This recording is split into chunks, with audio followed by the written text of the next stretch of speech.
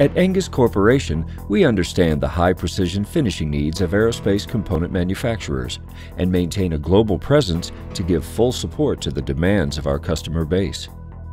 We are displaying the latest technology in precision finishing of hydraulic valve sleeves here at IMTS.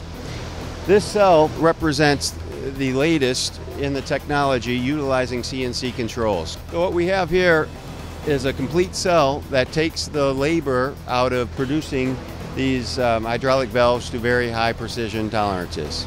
So we use a multi-stroking honing machine with CNC controls which will remove the majority of the material. It also takes out any camber or outer round that could be in the bore. Once the part is roughed in, the part is then placed into the single pass system which is very flexible to handle a wide variety of parts. Now with the Engis single pass system, we're able to remove about 20 microns of material and achieve very high tolerances. The bore cylindricity to under one micron is usually produced and the size uh, will repeat within a half a micron. Some of the major advantages of this machine also is to be able to produce burr-free, very sharp metering edges in the part.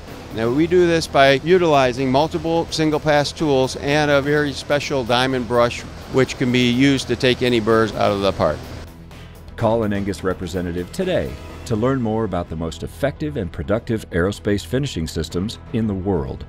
Engis Corporation. High precision, diamond driven.